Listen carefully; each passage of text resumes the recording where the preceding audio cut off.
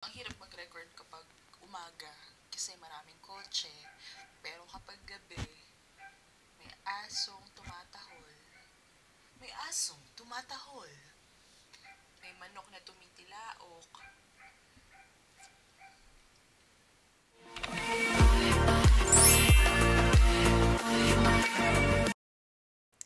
Hi everyone, this is Jane and welcome back to my channel. If you're already a subscriber, thank you so much because we are already at 100 subscribers. And for that, ang gagawin natin ngayon ay isang request galing sa isang random subscriber.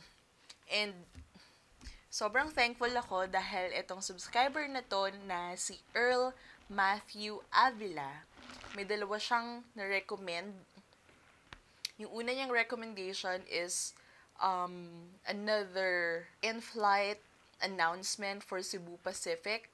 Pero tsaka ko nagagawin yun kapag um, mas marami na akong time. Ang gagawin natin ngayon ay yung isa niyang request.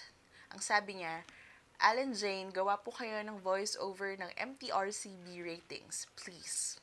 And hindi lang yun, dahil papakita ko dito, yan, yan. Yung request niya may kasamang script. So, yan na yung pamantayan ng mga magre-request. Kung magre-request kayo, hanapan nyo na rin ako ng script. Pero, kidding aside, um, thank you so much, Earl Matthew Avila, sa script na binigay mo. Dahil dito, gagawa ko ng sarili kong version ng Rated SPG. At hindi lang yon dahil bukod kay Miss Inka Magnaye, meron pa akong isang um, voice-over talent na lagi kong pinapanood.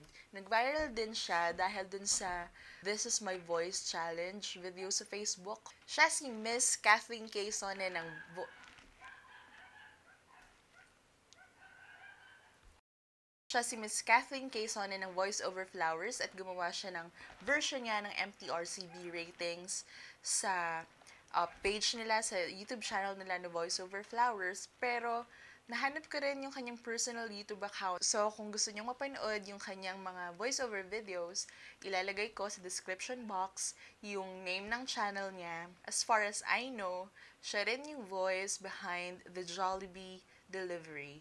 Jollibee Delivery! Jollibee Delivery and Pampers and Ladies' Choice. And malay nyo, gawin din natin yun next time. Pero sa ngayon, let's get right to this video.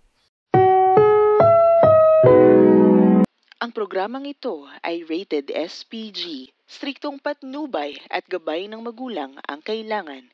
Maaaring may masaselang tema, lengguwahe, karahasan, sexual, horror o droga na hindi angkop sa mga bata. Striktong patnubay at gabay ng magulang ang kailangan.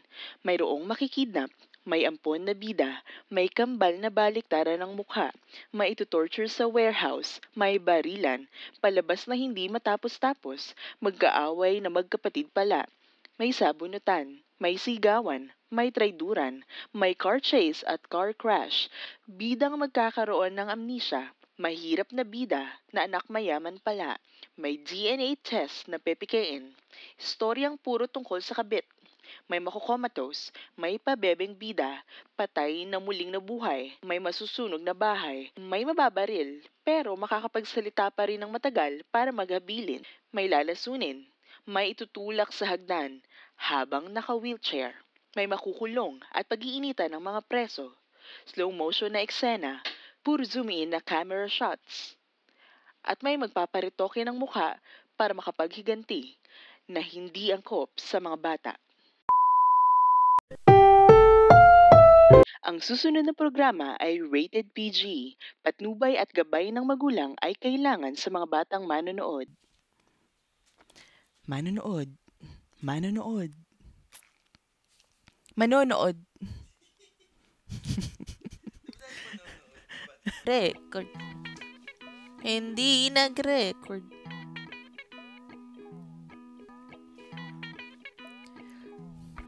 Ang